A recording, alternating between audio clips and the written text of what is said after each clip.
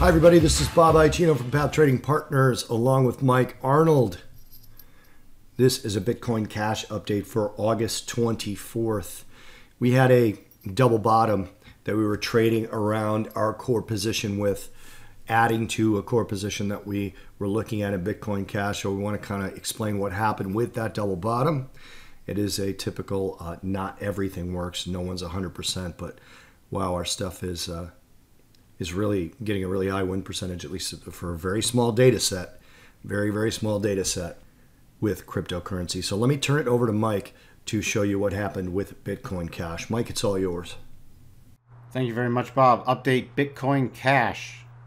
Entered on this double bottom, ran up to stop reduction, did not get to our first profit taking target. We raised our stop on a close below the 622 level, and that was now stopped out for a minor loss. Again, we're trading around a core position, so this was an add to our core position.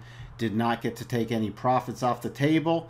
And now we're being very, very conservative because we're against the rotation zone on the one hour.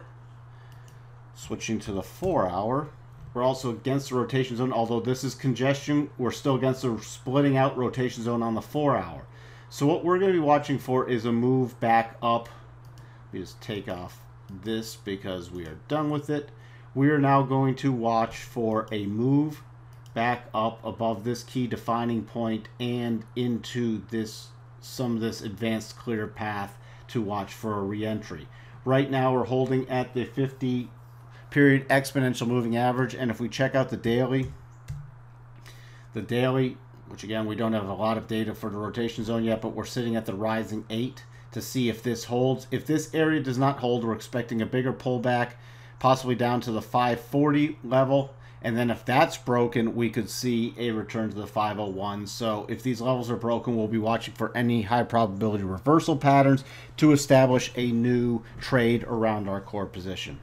That's what we have for you for this Bitcoin Cash US dollar update. Back to you, Bob.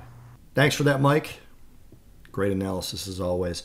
Thanks for watching, guys. Appreciate it if you hit like and subscribe. Subscribe, especially if you haven't already. And feel free to send this around, leave us some comments, shoot us an email, support at pathtradingpartners.com.